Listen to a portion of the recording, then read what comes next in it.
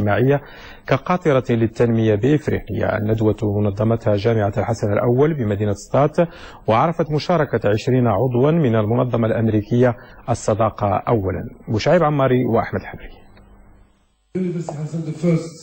جامعة الحسن الأول بمدينة سطات وتقليدا للذكرى الواحدة والعشرون لتأسيسها استقبلت 26 سفير سلام تابعون لمنظمة Friendship First الأمريكية.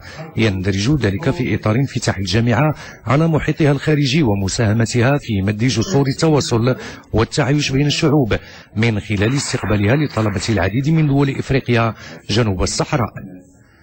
جامعة حسن الأول على سبيل المثال فهي تستقبل أكثر من 650 طالب أجنبي وعمومهم من يعني الدول الافريقيه جنوب الصحراء يمثلون 51 يعني جنسية في في جامعتنا.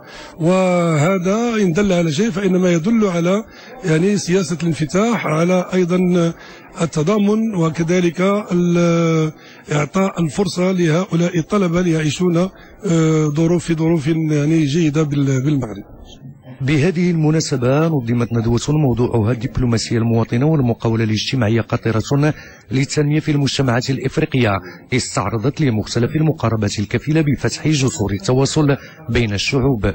إحنا كنوفروا لهم واحد آه، الفرصة إنهم يجوا على أرض الواقع ويكتشفوا ما جعل من المملكة المغربية رائد في حقوق الإنسان وفي التنمية البشرية بصفة عامة والاقتصادية ونشر كذلك آه، مفاهيم التعايش والسلم والسلام. نمثل جمعية Friendship First وهي منظمة هدفها مد جسور الإخاء والصداقة والتواصل بين شعوب بلداننا والتعرف على مجتمعاتنا لنحيا سويا.